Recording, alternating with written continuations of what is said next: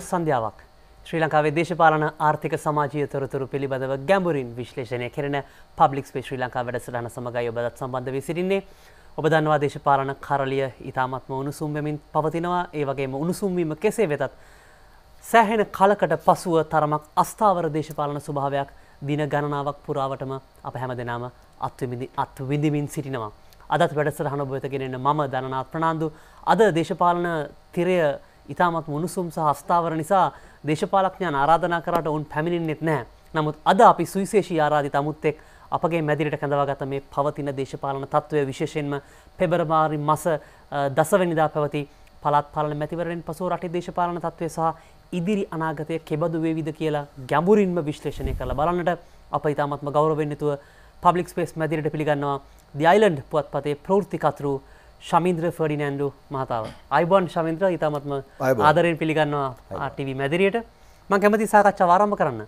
වර්තමාන දේශපාලන තත්ත්වය පිළිබඳව ඔබයි මමයි අපි අනාවක කියන්න අපිට අමාරුයි නමුත් අපිට වලන්න පුළුවන් සිදු විය හැකි දේවල් මොනවද කියලා. මේ යන විදිර ගයොත්තෙම ඔබගේ දේශපාලන විවරණය කුමක්ද වර්තමානය ඇති වෙලා තිබෙන දේශපාලන තත්වය පිළිබඳව. ඇත්ත වශයෙන්ම මේ ප්‍රශ්නය පෙබරවාරි මාසේ දහයිඉඳල කතා කරනවට වඩා මහිතන්නේ පොඩ්ඩක් අවුදු තුනකට පසු පසට ගිල්ලා කතාකරොත් අපි තේරුම් ගන්න ඕනේ යහපාලනය කියන වචනය තිබුණ ආණ්ඩුව පරාජය කරන්න ගෙනාපු වචනයක් පමණයි. යහපාලනය කියන දේ කිසිම අවස්ථාවක පවතින රජය තියන් උත්සාහ කරේවත් නැති බවත් තිබුණ නැති බවත් අද වෙනකොට මේ රටේ මිනිසු දන්න. මොකද බැඳුම් කර සිද්ධිය සිදුවනේ ඇත වශයෙන්ම ජනාපතිවරණයෙන් දින පණහකට පමණ පසුව. දැන් ඔබ කියනකොට චන්දයෙන් පසුව රටේ දින කීපයක අස්ථාවර තත්ත්වයක් ඇති වෙලා තියෙනවයි කියලා. මට හිතන විදියට මේ ආණ්ඩුව ආපු දවසේ ඉඳලාම මේ අස්ථාවර තත්ත්වය ඇති වුණා. ඉතා පැහැදිලි. ඒකේ උච්චම අවස්ථාව තමයි අද වෙනකොට බලය සිටින ශ්‍රී ලංකා නිදහස් පක්ෂය සහ එක්සත් ජාතික පක්ෂය අතර ඇති වෙලා තියෙන ගැටුම. දැන් මේ ගැටුම ඊටාම සුවිශේෂ ගැටුමක් හේතුව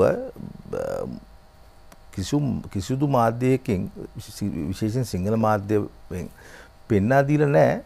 දැන් ආණ්ඩු බලයේ සිටින කණ්ඩායම් දෙකම පැහැදිලිව පරාජය වෙලා තියෙන අවස්ථාවක එක පාර්ශවයක් අනිත් පාර්ශවයෙන් නිදහසට කරුණු විමසනවා අග්‍රාමාත්‍යවරයා අයින් වෙන්න ඕන කියන කතන්දරය. මේක හරිම විකාර ස්වරූපයක්. දැන් තාම පැහැදිලිව බැලුවොත් දෙදස් දාසේ නොවැම්බර් මාසයේ කරලියට පැමිණි දේශපාලන පක්ෂයක් පොදු ජන පෙරමුණ මෙම මැතිවරණයේදී ශ්‍රී ලංකාවේ පළවෙනි ස්ථානයට පත්වලා තියෙනවා. එතකොට ඊට යට සිට සියලුම පක්ෂ පැහැදිලිව පරාජය වෙලා තියෙනවා. නමුත් ඒ පරාජය ඒ ලෙසට පිළිගන්නේ නැතුව දැන් සිද්ධ කරලා තියෙන්නේ උපක්‍රම දෙකක් ඒගොල්ලෝ පාවිච්චි කරනවා. එක පැත්තකින් පෙන්වන්න හදනවා එක්සත් ජාතික පක්ෂය ශ්‍රී ලංකා නිදහස් පක්ෂය සහ ජනතා විමුක්ති පෙරමුණ ගත්ත සියලු ඡන්ද එකතු කරලා අපි ගත්ත ඡන්ද සංඛ්‍යාව පොදු ජන පෙරමුණට ඒ කියන්නේ මහින්ද රාජපක්ෂ මහත්මයාගේ කණ්ඩායමට වඩා වැඩි කියන තර්කය. ඒක පිළිගන්න බැරි තර්කයක්. අනිත් පැත්තෙන් අපි බැලුවොත් ශ්‍රී ලංකා නිදහස් පක්ෂය එක්සත් ජාතික පක්ෂයෙන් කරුණු විමසනවා මෙම පරාජ්‍යයට හේතුව අග්‍රාමාත්‍යවරයා ඒ හින්දා අලුත් අග්‍රාමාත්‍යවරයා පත් කරන්න පුළුවන් කියලා. මං හිතනවා ඒ ඉල්ලීම සහ උත්සාහය අසාධාරණයි කියලා යහපාලන රජය 150 50 දෙගොල්ලොම එකට ඉන්නේ පක්ෂ දෙකෙන් පරාජය වුණා නම් දෙගොල්ලොම ඒ ඒ පරාජයේ වරද පිළිගන්න ඕනේ. ශමින්ද්‍ර මම කැමති දැනගන්න දැන් අග්‍රාමාත්‍යවරයාට ඉවත් වෙන්න කියලා එක පැත්තකින් චෝදනා එල්ල වෙනවා. නමුත් අනිත් පැත්තෙන් ගත්තොත් එහෙම ප්‍රධාන ශ්‍රී ලංකා නිදහස් පක්ෂය විදියට මෙහෙවපු ජනාධිපතිතුමත් පරාදයි මොකද එතුමට තියෙන්නේ 15කටත් වඩා අඩු ඡන්ද ප්‍රතිශතයක්. ඒ අනුව එතුමත් පැහැදිලිවම අසාර්ථක භාවයට පත් වෙලා තිබෙනවා. අනිත් පැත්තෙන් රනිල් වික්‍රමසිංහ මහත්මයාත් පරාජයට පත් වෙලා තිබෙනවා. අර අපේ සමාජ ජාලා වෙබ් අඩවිවල ගියා වගේ අන්තිමට අග්‍රාමාත්‍යතුමයි ජනාධිපතිතුමයි විපක්ෂ නායකතුමයි සභානායක හැමෝම අවසාන එක පාර්ලිමේන්තු මන්ත්‍රීවරයෙක්ට තමයි මේ ඡන්දති සම්පූර්ණයෙන් පරාජයට පත් වෙලා තිබෙන්නේ. නමුත් මෙතනදී ජාතික ආණ්ඩුවක් අපි කියන්නේ ජාතික මට්ටමේ මැතිවරණයක් හා සම්බන්ධව සලකලා බලද්දී මෙතනති වෙන්න පුළුවන් දේ මොකක් ඔබ හිතන්නේ ජනතා මතය නියෝජනය අනුව ඉදිරියට ජාතික දේශපාලනය සිදුවිය යුතු වෙනස්කමකුමක්ද. වෙනස්කමක් කියලා ඒ ඒ අර්ථකථන ඒ විදිහටම කියන්න අමාරුයි. නමුත් දැන් පැහැදිලිවම මහින්ද රාජපක්ෂ මහත්මයාගේ කණ්ඩායම වඩා සාර්ථක ප්‍රබල ස්ථානයක ඉන්න මේ අවස්ථාවේදී ඊටාම පැහැදිලිව එතුමා ශ්‍රී ලංකා නිදහස් පක්ෂය සමග කරන ගනුදෙනුව සාකච්ඡාව ඡන්දයට පෙර තිබුණ ආකාරයට නෙමෙයි දැන් සිදු වෙන්නේ. ඒක ඉතා පැහැදිලිවි. ඒකට හේතුව මේ පෙබරවාරි මාසේ 10 වෙනිදායින් පටන් ගත්තේ එන අවුරුදු දෙක පුරාවට තියෙන ඡන්ද සිතියම ඇරීමක් සිදු වුණේ. අද අපි කල්පනා කර බැලුවොත් ගිය අවුරුද්දේ මේ රජය මේ රජය ඡන්දයට මුහුණ දීමට ඉතාම බයක් මැලිකමක් දැක්වුවා ඒක පැහැදිලි. ඒ මත පළාත් සභා තුනක ඡන්ද ගිය අවුරුද්දේ කල් දැම්මා. දැන් මේ වසරේ පළාත් සභා තුනක ඡන්ද තව එන්න තියෙනවා 2019 තව තුනක් තියෙනවා. එතකොට අපි කල්පනා කරලා බලන්න ඕනේ දැන් මේ මේ මැතිවරණ සිටියේ පළාත් සභා ඡන්ද 9ක් තියෙනවා. ඊට පස්සේ ජනාධිපතිවරණය එනවා. ඊට පස්සේ මහ මැතිවරණය එනවා. එතකොට ජනාධිපතිවරණය එන්න තියෙන්නේ අවුරුද්දකුත් මාස 8යි. මහා මැතිවරණය අවුරුදු දෙකමාරයි. එතකොට අපි තේරුම් ගන්න ඕනේ බලයේ සිටින ආණ්ඩුවට හුස්මක් ගන්න. ඒ කියන්නේ බලයේ සිටින පක්ෂ දෙකට හුස්මක් ගන්න අවස්ථාවක් නැහැ. ඒකට හේතුව මේ පරාජයේ බලපෑම මේ අවුරුදු වසර දෙක පුරාවටම බලපානවා. ඒක ඒක වෙනස් කරන්න පුළුවන් ජගතෙක් කිව්වත් කිසි කෙනෙක්ට බෑ. ඒක තමයි ඇත්ත කතන්දරේ. ඊට අමතරව අනිකුත් කාරණා දැන් උදාහරණයක් වශයෙන් හෙට පත්තරවල පුවත්පත්වල වාර්තා වෙයි අර්ජුන මහෙන්ද්‍රන් පොරොන්දුනට එන්න කියලා කිව්වට CID එකට බාර වෙන්න කිව්වට අද මහෙන්ද්‍ර නාමේ නැහැ. දැන් දැන් අග්‍රාමාත්‍යවරයා පාර්ලිමේන්තුවට පොරොන්දුවක් දුන්නා පැහැදිලිව කිව්වා. පාර්ලිමේන්තුවට පිටත් මං හිතන පැවසුවා මේ මහෙන්ද්‍ර සම්බන්ධ වාගකීම එතුමා බාර ගන්නවා කියලා. සුසිල් ප්‍රේමජාන් දැන් මෙතුමා මෑතකදී කිව්වා දැන් මහෙන්ද්‍රන් ලංකාවට පැමිණියේ නැත්තම් එම පැමිණීම අනිවාර්යයෙන්ම ලංකාවට බාර ගැනීම අග්‍රාමාත්‍යතුමා බාර ගන්න ඕන කියලා. දැන් දැන් පරාජයට අමතරව තව කරුණු ගණනාවක් උඩ අපිට දකින්න පුළුවන් එන සති මාස කිහිපය තුළදී ශ්‍රී ලංකා නිදහස් පක්ෂය සහ එක්සත් ජාතික පක්ෂය දිගින් දිගටම මේ ගැටුම වෙනවා.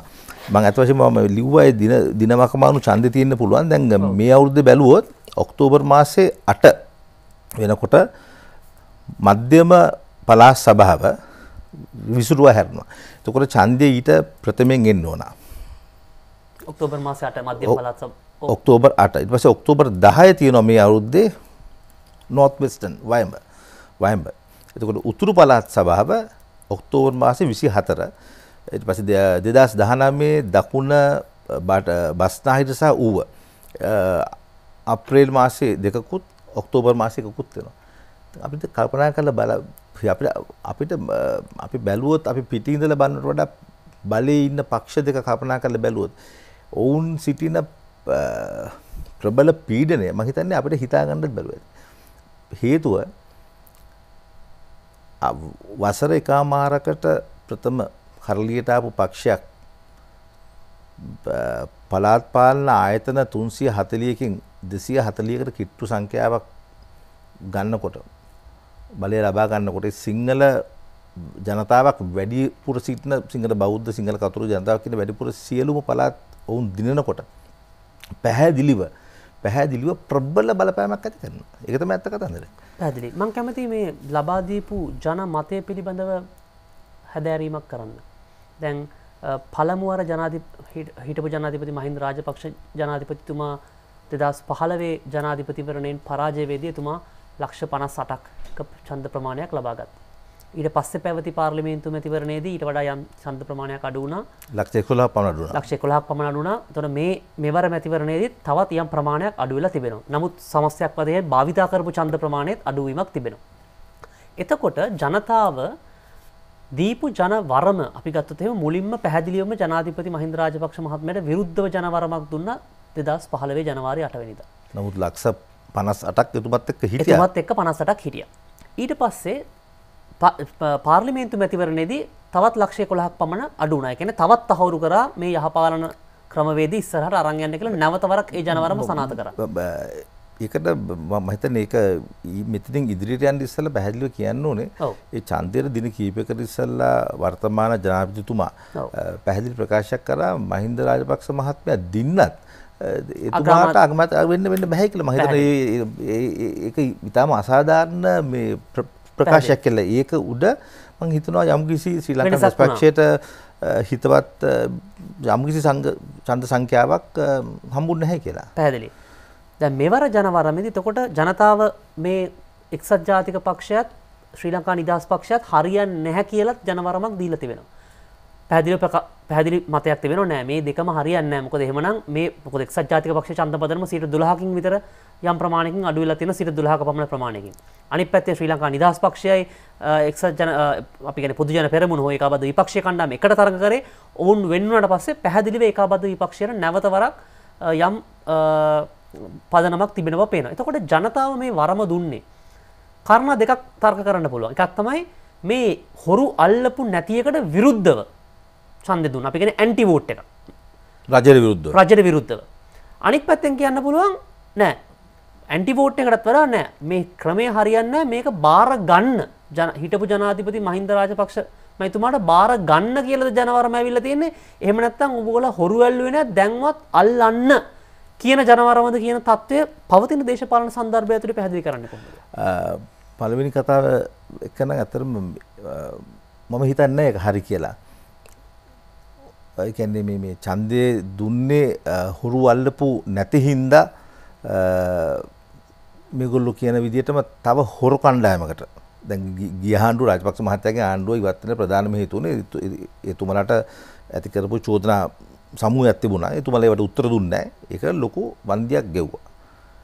අද රටත් ලොකු වන්දියක් ගෙවනවා එකට. මම එතන කතාව එතන නවත්තලා ඉතා පැහැදිලිව දැන් ඔ- ඔ- දැන් ඔ- දැන් ඔබතුමා ඔය කිව්ව කිව්ව කතාව රාජ්‍ය නොවන සංවිධාන වලින් එන කතාව. මම දැක්ක ගාමිණී හියන්ගොඩ ඊ හරි පෙරේද හරි ඔය කතාව කිව්වා මේ හොරු අල්ලපු නැති හින්දා තමයි මේ ඡන්දෙ දුන්නේ ඔව්, ඒ තමයි පැත්තගෙන ප්‍රධාන තර්කය. අනිත් පැත්තෙන් කියන්නේ මේ මේ මේ ආණ්ඩුව වැඩක් නැහැ.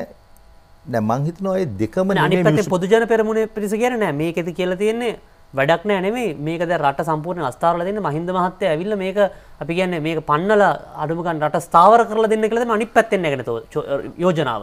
ඒකට තමයි මේ ජනවරම නැවතවරක් දීලා තියෙන්නේ අලුතෙන් ආපු පක්ෂයකට පාර්ලිමේන්තු මන්ත්‍රීවරයෙක්ට නැවත මෙච්චර ජනවරමක් දීලා තියෙන්නේ කරුණාකරලා මේක බාර ගන්න අලුත් මහමැතිවරණයකට යන්න ගිහිල්ලා රට ස්ථාවර කරන ආණ්ඩුවක් දෙන්න කියලා තමයි එතුමාගේ පැත්තෙන් කියන්නේ. මම ඔබතුමාගෙන් කැමති දේශපාලන විචාරකෙක් විදිහට මේ ජනවරම් දෙක මේ කාරණා දෙක පැහැදිලි කරන්න කොහොමද? නෑ දැන් ඉතාම පැහැදිලිව ඔය කාරණා දෙක නිසා මෙම ආණ්ඩුව පැරදුනයි කියන්න අප- අපිට හිතන්න බෑ. මේ රටේ මිනිස්සු දෙදස් පහළවේ ජනවාරි මාසයේ ආණ්ඩුවක් වෙනස් කරලා ජනාධිප- ජනාධිපතිවරණය තියලා හිටපු ජනාධිපතිතුමා පැරදිලා මිනිස්සු බලාපොරොත්තු වුණා අලුත් ජනාධිපතිතුමා ඒ ජනාධිපති දුරේ වැඩබාර අරගෙන ඒක ඉදිරියට අරන් යයි කියලා. කරයි කියලා බලාපොරොත්තු වෙනවා. නමුත් මොකද උනේ? වෙච්ච පළවෙනි වැරද්ද තමයි යහපාලන ආණ්ඩුව ඇවිල්ලා ජනාධිපතිවරණය ජයග්‍රාහකයා ල- මෛත්‍රීපාල සිරිසේන මැතිතුමා ලබා ගන්නවත් සමගම තිබුණු ආණ්ඩුවේ අග්‍රාමාත්‍යවරයාව අයින් කළා වික්‍රමසිංහ මහත්තයාව අග්‍රාමාත්‍යවරයා කරා. මේ රටේ කිසිම අවස්ථාවක මම කිසිම අවස්ථාවක මම හිතනවා ඔබතුමාලත් අහලා කවදාවත් අහලා වෙන්න තියෙන හේතුවක් නැහැ. ජනාධිපතිවරණයකේ ජනාධිපතිවරයා පැරදුනාම පවතින ආණ්ඩුව අයින් කරලා වෙන අග්‍රාමාත්‍යවරයෙක්ට බලය දෙනවා. ඒ බලය දෙන අවස්ථාවේදී ඒ කියන්නේ ජනවාරි මාස 9 වෙනිදා 2015 එක්සත් ජාතික පක්ෂයේ මන්ත්‍රීවරු පාර්ලිමේන්තුවේ හිටිය 46යි. ශ්‍රී ලංකා නිදහස් පක්ෂයේ පමණක් පාර්ලිමේන්තු මන්ත්‍රීවරු හිටිය 126ක්. එක්සත් ජනතා පෙරමුණ වශයෙන් ගත්තොත් 152ක්. දැන් මේ මෙවැනි තත්ත්වයක් මත තමයි රජය සහ ජනාධිපති කියන ඒ තල දෙකේම බලය යහපාලනයට ගියේ. එදා ඉඳලා කල්පනා කරලා බලන්න මහබැඳු බැඳුම් කරෙන් පටන් ගත්තට පස්සේ අද වෙනකන් බලයේ සිටින කණ්ඩායමේ හැසිරීම ගිය ආණ්ඩුවට හෝ මහින්ද රාජපක්ෂ මහත්මයාට ඡන්දේ දාපු මිනිස්සු මම මට මම තේරුම් ගන්න විදියට එම ඡන්දය පාවිච්චි කරේ මේ මේ එතුමා ඇවිල්ලා මේක ස්ථාවර කරයි කියලාවත් මොකටවත් නෙමෙයි මිනිසුන්ට හිතාගන්න බැරුව ගියා මිනිසුන්ට උහුලුම් දෙන්න නැතුව ගියා මේ මේ මේ මේ යහපාලනය කියලා බලයට ආපු කණ්ඩායමක හැසිරීම. ඊට පැහැදිලිව.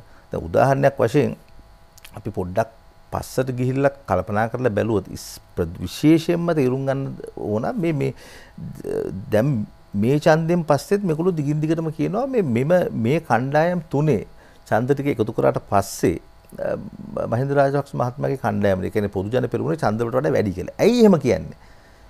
කවුරුත් එතන විමසලා නැහැ. ඒ හේතුව තමයි 2015 ජන හිතපු ජනාධිපතිවරයාව පරාජය කරන්න එම කණ්ඩායම හදනකොට ඇමරිකානු තානාපති කාර්යාලයේ මැදිහත් වීම සමග කණ්ඩායම් හතරක් එකට ගෙනාවා. එක්සත් ජාතික පක්ෂය, ජනතා විමුක්ති පෙරමුණ, TNA කියන්නේ ද්‍රවිඩ ජාතික සන්ධානය සහ ශ්‍රී ලංකා මුස්ලිම් කොංග්‍රසය. දැන් කවුරුත් මේ රටේ අහලා තියෙනවද එක්සත් ජාතික පක්ෂය සහ ජනතා විමුක්ති පෙරමුණේ පොදු දේශපාලන අරමුණක් වෙනුවෙන් කටයුතු කර කියලා. කවදාවත් නෑ. පළවෙනි සැරේ අපි දැක්කා හිටපු යුද හමුදාපති ජනරාල් සරත් ෆොන්සේක මහත්මයාව ජනාධිපති පුටුවේ ඉඳවන්න එක්සත් ජාතික පක්ෂයයි ජනතා විමුක්ති පෙරමුණයි ද්‍රවිඩ පෙරමුණ සම්බන්ධන් මහත්මයාගේ පෙරමුණ එකට හිටගත්තා.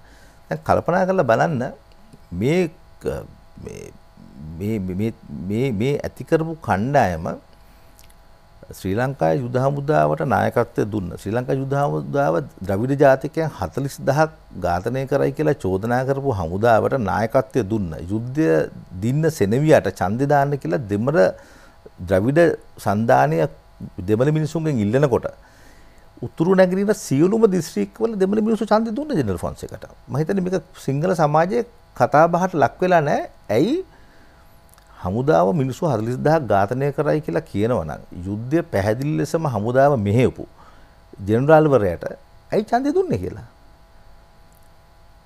මේ ඇමරිකාව ප්‍රමුඛ බටහිර රටවල් වලට පැහැදිලිව අවශ්‍ය වුණා මේ රටේ තියෙන මෙම මහින්ද රාජපක්ෂ මැතිතුමා බලෙන් පහ කරන්න. ඒක තමයි මේ අසුද්ධ සන්ධානයේ ආරම්භය. ඒ සන්ධානය ඒ විදියටම ක්‍රියාත්මක වුණා 2015 මේ කණ්ඩායම දෙදස් පහල විදිත් මේ කණ්ඩෑම මේ විදිරම ජද දුන්න.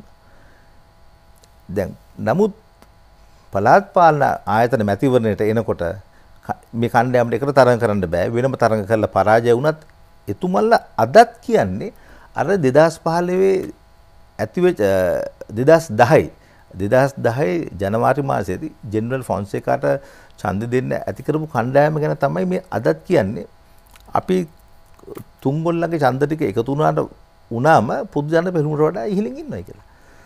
ඔබ කියන ගැලපීම පැහැදිලි දෙදස් දහයත් ඔවුන් එකට හිටගත්තා දෙදස් පහලවේදිත් ඔවුන් එකට හිටගත්තා. නමුත් පලාත් පාලනයේදී පලා සභාවදි ඒගුලන්ට එකට හිටගන්න බෑ. ඒ අනුව ඉතාම පැහැදිලිව පොදු ජන පෙරමුණ මෙම චන්ද ක්‍රමය දිගටම මේ විදියට චන්දයට මුහුණු දුන්නොත් තනි පක්ෂයක් ලෙස වැඩි පලාත් සභාව ගණනක් අනිවාර්යයෙන්ම දිනනවා. පැහැදිලි. මං කැමති මේ දෙදස් දැන් ඊළඟට එන්න ප්‍රධානම මැතිවරණය තමයි අපි අපි ගැන ප්‍රාදේශය මැතිවරණ අයිංකරොත් එහෙම යම් අතුරු ප්‍රධාන මැතිවරණයක නොගියොත් පාර්ලිමේන්තු මැතිවරණයකට පනතක් ගෙනල්ලා පාර්ලිමේන්තුවේ සම්මත කරගෙන නොගියොත් ඊළඟට එන්නේ ජනාධිපති වරණය ඊළඟට එන්න ප්‍රධානම ජාතික මැතිවරණය බවට පත් වෙන්නේ. ඒතොර එම වාතාවරණය තුල අපිට පේනවා දැන් තිබෙන ව්‍යවස්ථා ප්‍රතිපාදන අනුව ජනාධිපති මහින්ද රාජපක්ෂ මහත්මයාට නැවත වරක් මේ විවස්ථා ප්‍රතිපාදන අනුව ඉල්ලන්න ඡන්දයකට ඉදිරිපත් වෙන්න බෑ. එවිට අනික් පැත්තෙන් එන නම තමයි ගෝඨාභය රාජපක්ෂ කියන නම. ඔබ දකින්නේ කොහොමද ඊළඟ ජනාධිපතිවරණය? මොකද ජනාධිපතිතුමා දැඩි පීඩනයක සිටින බව පේන එතුමා කරන ප්‍රකාශයන් සහ එතුමාගේ හැසිරීම් රටාව බැලුවට පස්සේ. එතකොට ජනාධි මුලින්ම මේ පැත්තෙන් ජනාධිපතිතුමාට නේද මුලින්ම අග්‍රාමාත්‍යතුමාට පහර වදින්න කලින් ජනාධිපතිවරයා නේද මේ පීඩනය අපි හිතුවට වැඩිම බලපෑමක් එල්ල වෙන්නේ දැන්.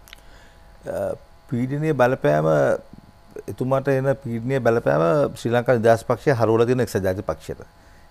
ඒ මත තමයි දිගින් දිගටම සියලුම පුවත්පත් සහ රූපවාහිනී ආයතන දිගටම දිගටම පෙන්නුම් කරන්නේ මේ අර්ලියගහ මන්දිරී සහ පැජට් රෝඩ් අතර යාන වාහන යනවා නායකව හම්බ වෙනවා. නමුත් ඇත්ත ලෙසම බැලුවොත් එතුමන්ලගේ දෙන්නම ඒ ඒ පක්ෂ දෙකම අසරණ තත්ත්වයක ඉන්නවයි කියලා කිව්වනම් පැහැදිලි. එලෙසම ජනතා විමුක්ති පෙරමුණත් පැහැදිලිවම අසරණ තත්ත්වයකට පත් වෙලා තියෙනවා. හේතුව මේ බැදුම්කර සිද්ධිය සහ වෙච්ච දූෂණ වංචා මත ජනතා විමුක්ති පෙරමුණ පැහැදිලි ලෙස ප්‍රකාශ කරා ඒගොල්ලෝ ඇත්ත වශයෙන්ම හිතුවා වැඩි ඡන්ද ප්‍රමාණයක් එතුමන්ලගේ පක්ෂයට මෙම ඡන්දිත ලැබී කියලා. නමුත් ඒ විදිහට ඒක සිද්ධ වෙලා නැහැ. ඒක සිද්ධ වුණේ නැහැ. සමහරක් විට ජනතාව ඒ ජනතා විමුක්ති පෙරමුණේ කතන්දරේ කතාව කරපු ප්‍රකාශය විදියට පිළිගත්තේ නැහැ කියලා මම හිතන්නේ.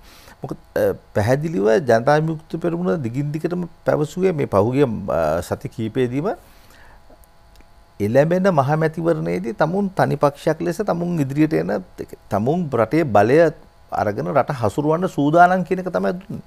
නමුත් අති බහුතර ජනතාවක් මේ රටේ පෙන්눔 කළ දීලා තියෙනවා. එම ජනතාවට ජනතා විමුක්ති පෙරමුණ ගැන ඒ විශ්වාසය නැහැ කියලා.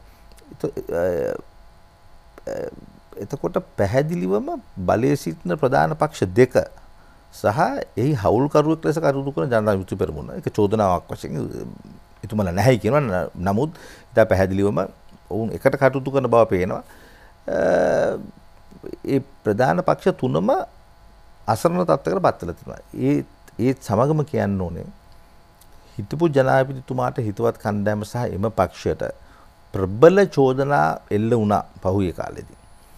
මේ බැඳුම් කරේ පමණක් නෙමෙයි මේ රටේ වෙච්ච දේවල් දේවල්. ඊට අමතරව දූෂණ වංචා දැන් ශ්‍රී ලංකන් එයාලයින්ස් ගත්තත් ඉතා ප්‍රබල චෝදනා එල්ල වුණා. අද වෙනතුරුත් ඒ එකම ප්‍රබල චෝදනාවකටත් එතුමාලගේ පක්ෂ උත්තර දීලා නැහැ. මේ ආණ්ඩුවේට හැකියාවක් නැති වුණාට මේ කරුණු කාරණා ඔප්පු කරන්න පැහැදිලිවම පසු පැවති රජය මූල්‍ය දූෂණ අක්‍රමිතික ඇතුළු වැරදි කර බව පැහැදිලි. ඒවා සම්බන්ධව එතුමල්ල පැහැදිලි ප්‍රකාශයක් කරන්න ඕනයි කියන ස්ථාවරය තමයි මම ඉන්නේ. බොහොම ස්තුතියි ඔබතුමාට අද අපත් සමග සාකච්ඡාවට සම්බන්ධ වී සිටින්නේ දි අයිලන්ඩ් පුවත්පතේ ප්‍රවෘත්තිකතුරු ශමින්ද්‍ර ෆර්ඩිනැන්ඩු මහත්මයා එතුමා අපි කියන්නේ දේශපාලන විශ්වකෝෂයක් කෙසේ වෙතත් අප එතුමගෙන් ප්‍රශ්න කරමින් සිටියේ වර්තමාන දේශපාලන තත්ත්වය පිළිබඳව ඉදිරියේදී මොකද වෙන්න යන්නේ පිළිබඳවයි අපි එතුමාව තවදුරටත් ප්‍රශ්න කරන්න සූදානම් කෙටි විරාමයක අනතුරු නමුත් ඊට කලින් ඔබට අද දිනේදී සජීවීව දුරකථන මාර්ග ඔස්සේ අද දිනේ පටන් පබ්ලික් ස්පේස් ශ්‍රී ලංකා වැඩසටහනට සජීවීව දුරකථන මාර්ග ඔස්සේ අපත් සමග අපට ප්‍රශ්න ඉදිරිපත් කරන්න පුළුවන්. අපගේ දුරකථන අංකය තමයි 0111 5යි 394යි 336 0111 5යි 394යි තුන්සිය තිස්හය ඔබට පුළුවන් සජීවි බවත් අපත් සමඟ සම්බන්ධ වනට මැදිරියට ප්‍රශ්නයමු කරන්නට පුළුවන් ශමින්ද්‍ර ෆඩිනැන්ඩු මහත්මයට. අපි ඔබගෙන් ලබා ගනවා කෙඩි විරාමයක්. විරාමය අනත රෝබ නැවත සබඳ වන්නේ පබ්ලික් ස්පේ ශ්‍රී ලංකා වැඩසටන සබඳ.